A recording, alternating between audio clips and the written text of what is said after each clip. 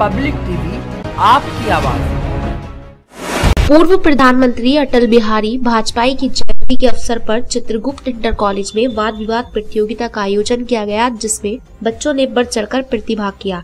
प्रतियोगिता में बच्चों ने अटल बिहारी वाजपेयी की जीवन रेखा पर प्रकाश डाला तो वहीं निर्णायक मंडल से बोलते हुए वक्ताओं ने भी बच्चों का मनोबल बढ़ाया।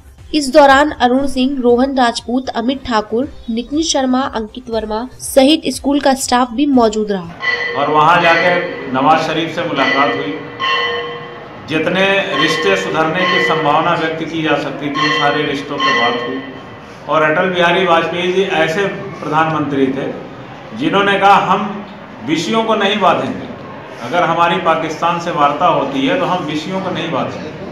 अभी आप अगर देखेंगे जब भी कभी बात होती है तो विषय विषय आधारित मीटिंग होती है। चाहे फॉरेन मिनिस्टर लेवल की हो या कैबिनेट लेवल की हो कैबिनेट सचिव लेवल की हो। लेकिन अटल बिहारी वाजपेयी जी ने कहा नहीं हम कश्मीर मुद्दे को शामिल कर रहे हैं और अपने रिश्ते को बहाल करें।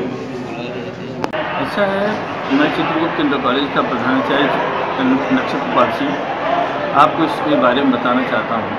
कि आज अटल बिहारी वाजपेयी जी का जन्म दिवस है और इस उपलक्ष्य में हमारे भारत सरकार और मुख्यमंत्री योगी आदित्यनाथ जी ने एक सर्कुलेट किया है जिला विद्या निश्चित के माध्यम से कि इनके व्यक्तित्व, कर्तृत्व पर एक प्रतियोगिता कराई जो बच्चे फ़र्स्ट और सेकंड थर्ड आए, उन बच्चों को जिला स्तर पर, आज तो विद्यालय स्तर पर हो रही है और इनका अटल बिहारी वाजपेयी जी एक वास्तव में कवि हृदय भी रहे और साथ में बहुत अच्छे राजनेता एक भाईचारे की भावना और पूरे देश को ऐसे संजोया उस ऐसे व्यक्तित्व ने जो एक देश का, इस राष्ट्रवाद का एक बहुत बड़ा मायने ये भी हुआ कि देश में इस तरीके के सब, सभी धर्म के लोग रहते हुए भी